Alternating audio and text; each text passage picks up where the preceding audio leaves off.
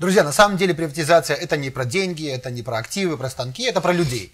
А, самая главная причина, почему я выступаю за приватизацию в Беларуси, это то, что я доверяю белорусам, я доверяю белорусскому бизнесу, предпринимателям, тем людям, которые э, многие годы управляли этими активами. Я считаю, что они заслужили и делают это гораздо лучше а, распорядителей чужого, то есть тех людей, в чьих руках сегодня находятся эти активы. То есть для меня приватизация это децентрализация, деконцентрация капитала, э, это, грубо говоря, э, экономическая власть в руки обыкновенного человека, предпринимателя, человека, который имеет некие идеи, как этим управлять.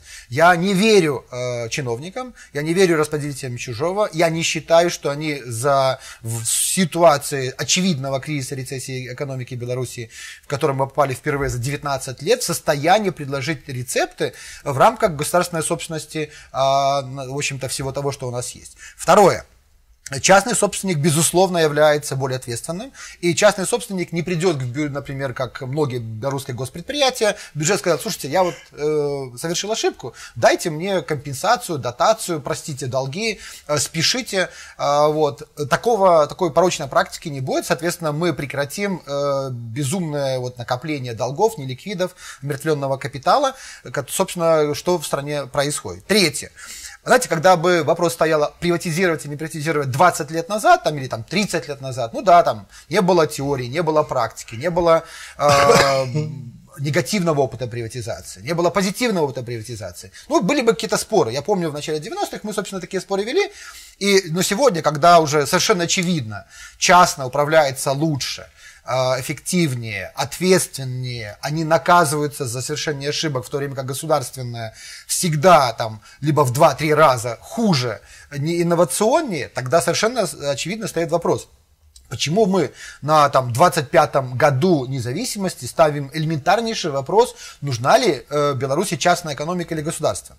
Э, поэтому накопленный опыт центральных стран, стран Восточной Европы, там можно найти много позитива. Одновременно, хорошо, э, хочу особо подчеркнуть, что у нас есть совершенно уникальные, классные примеры того, как не надо делать приватизацию в лице России, в лице Украины. Это пример, э, ничего не имеющий с э, приватизацией, это номенклатурная прихватизация, это просто захват собственности кланами, которые были у власти в России и в Украине. И, собственно, если мы не начнем э, приватизацию сегодня по другим правилам, не тем, которые сегодня прописаны, я боюсь, что угроза номенклатурного э, значит, развала, что ли, или раздрая в Беларуси будет сохраняться. Значит, э, следующий акцент, э, аргумент в пользу приватизации. Вы знаете, что в Беларуси сегодня единственный инструмент – чуть ли не сбережение или инвестирование денег э, на население, это э, вклады валютные, там, рублевые, и вы знаете, что с ним происходит.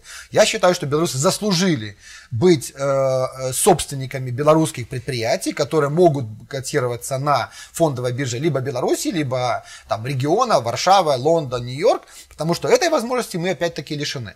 Э, в случае активного, эффективного управления данными активами, э, белорусы могут богатеть вместе с этими компаниями, э, становясь, собственно, непосредственными стейкхолдерами и стокхолдерами данных предприятий. Я считаю, что это, это шанса выпускать нельзя. Если мы этого не будем делать, опять-таки, деньги белорусов начнут уходить из банковской системы, э, и куда переходить в ОАО «Банк Матрас», о чем, собственно, вы знаете. Э, приватизация является, на мой взгляд, безальтернативным способом очищение белорусской экономики сегодня от огромного количества десятков миллиардов отмертвленного капитала. Если сегодня э, дать управлять тем людям, которые 20 лет это делали, там, или там, их молодым клонам с БРСМ или с других организаций, у них новых идей нету, у них новых подходов нету, новой системы мотивации ответственности нету, и что будет? Будет просто э, там... Барак номер один меняется бельем с бараком номер два, и мы говорим, что у нас произошла модернизация, изменение структуры собственности. Это не работает. И 20 лет управления в Беларуси в таком режиме показали, что она не работает и приводит только к ухудшению ситуации. А, и самое главное, что вот в такой ситуации, когда э, у нас система принятия решения по э, распределению ресурсов, она совершенно э, на мой взгляд, ущербно.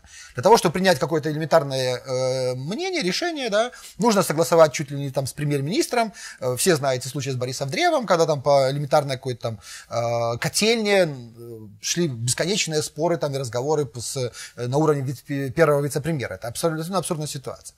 Наконец, еще один аргумент в пользу приватизации сегодня для Беларуси касается той среды, в которой мы находимся. А, скорость принятия решений в мире резко увеличилась. А, неопределенность является частью той системы, где мы, э, собственно, где же мы живем. И это, э, в общем-то, признают все высшие должностные лица нашей страны. Поэтому, опять, кто в состоянии адекватнее, быстрее, точнее и ответственнее, главное, реагировать на происходящие изменения, на ту среду, которая появляется появляется. Чиновник, который борется за сохранение своего рабочего места, своих должностей, своего бюджета, либо частный собственник. И здесь, опять-таки, я однозначно выступаю за частного собственника, за того человека, который, опять-таки, будет сам реагировать на изменения, сам думать, какие там станки покупать, куда инвестировать, как договариваться с производителями, с покупателями, с инвесторами, с э, владельцами патентов и технологий. И здесь, опять, вот мы видим, что если внутри страны государственная система э, не работает, работает так, чтобы использовать даже лучшие наработки белорусских ученых. Э, известный факт, что когда там э, у нас даже сеют, да, то э, те лучшие семена, которые выращивают в Беларуси, они не используются колхозами, совхозами, они по-другому сейчас называются, потому что никакой мотивации нет. Руководители предприятий совершенно э, работает с другой мотивацией. И здесь, для того, чтобы это опять-таки порочный круг разорвать, я считаю, что э, необходимо совершенно четко провести приватизацию. Чем больше будет собственника, э, частных собственников в Беларуси, тем, а, это вопрос на экономической безопасности, это, это вопрос патриотизма, это вопрос э, ответственности, и это вопрос, на самом деле, вот того, куда мы пойдем, э, в какую сторону. Либо мы пойдем в сторону деградации, накопления ошибок, номенклатурной прихватизации, В том числе в такой ситуации мы значит, стоим перед угрозой э, экспансии российского э, бандитского капитала или бизнеса, либо мы начнем массовую приватизацию по, по тем законам и нормам, которые давным-давно прошли апробацию в мире и которые я предложил еще белорусской власти в 2003 году. Спасибо. Поэтому я за это.